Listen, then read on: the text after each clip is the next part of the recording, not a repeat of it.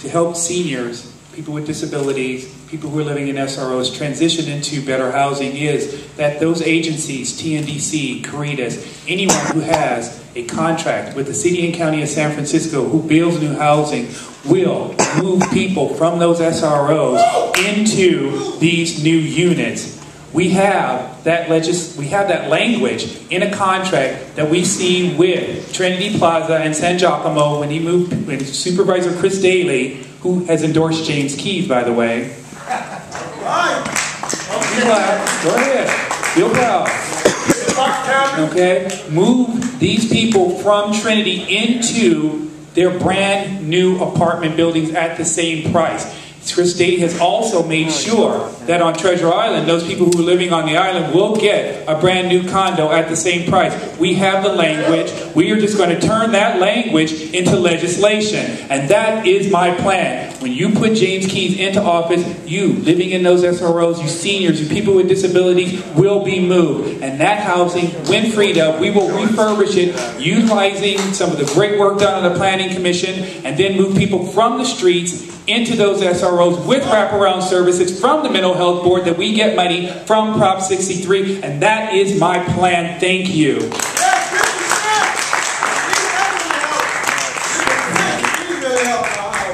Well, I think first of all, like James Key said, we need to make sure that we're funding services. It's not just about housing, right? So not only do we have to make sure that we're housing seniors and our families, but we're also providing services to those seniors and families once they are housed to transition them in. Once they are, and we got to make sure that we're protecting tenant rights and, and strengthening a lot of tenant protections. We have to decrease tenancy, uh, the, uh, getting tenancy from 32, 31 days, I think it is now, to what the state is, which is 28 days, um, to make sure that people are establishing tenancy earlier and not getting moved around like they were in the past, and making sure that the city attorney's office is enforcing when landlords are moving families and seniors around to make sure they don't establish tenancy.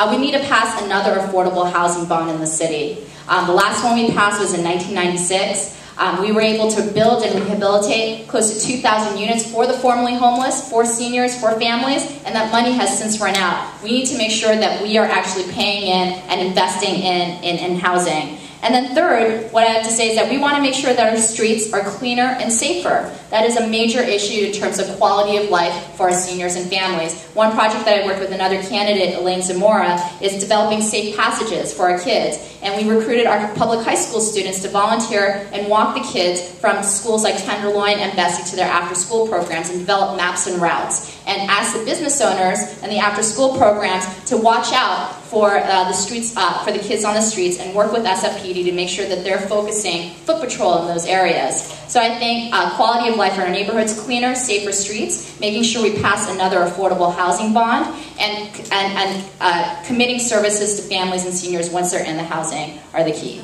Thank you.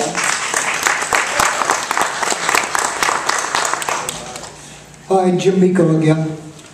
You know, I moved here in 1977. My first apartment was a room here in the Tenderloin, Hyde Street between Turk and Eddy. I know what it's like to live in a single room with no kitchen, no bath. It's, there's no dignity whatsoever.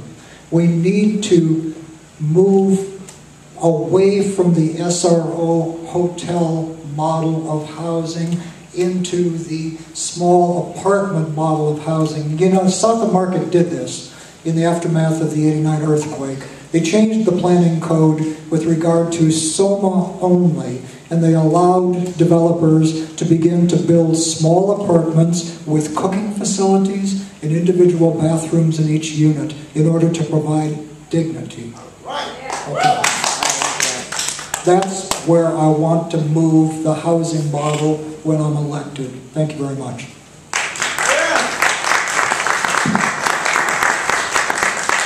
Uh, I actually agree with many things my fellow candidates said just now, but I think there's a couple of things they, they may have um, uh, uh, either de-emphasized or, or left out. One is uh, District 6 right now seems to be the containment zone for all low-income people. We need to move low-income people to different neighborhoods around the city so they can actually experience the great depth and great wealth of the neighborhoods and the facilities and the stores uh, around the city, not just in the Tenderloin. You should not be uh, uh, contained and only have the option of living in the Tenderloin. You should be able to live in the Richmond. You should be able to live in the Sunset. You should be able to live any place in this city. We need to take the affordable housing uh, and particularly low-cost housing and take it other parts of the city, uh, not just to Tenderloin. Secondly, we need to increase housing for seniors and for families. Uh, in the Tenderloin, uh, there's a greater, greater percent of immigrant families every single year. It's one of the few places in the city right now that's affordable for an immigrant family to live. We need to increase that, and we need to move these families out of one rooms into small apartments that are able to to, to, to give a, a, a, a reasonable lifestyle to the children.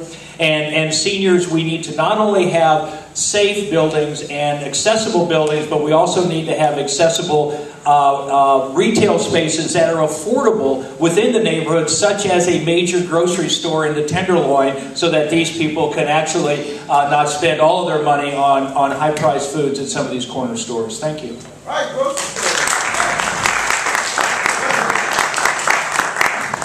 Deborah Walker again.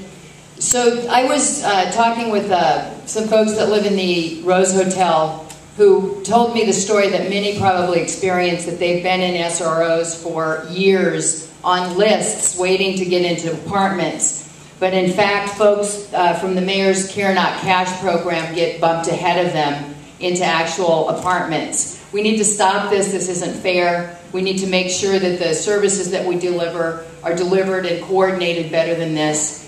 Um, we have some really good organizations who have a, uh, a history and a success at like uh, the um, Community Housing Partnership of taking these models, these adaptive reuse potentials, and using, being able to do the tenant improvement to allow the change of use into group housing and family housing and the next step in trying to, you know, increase the habitability and the, the positive effect of where we live.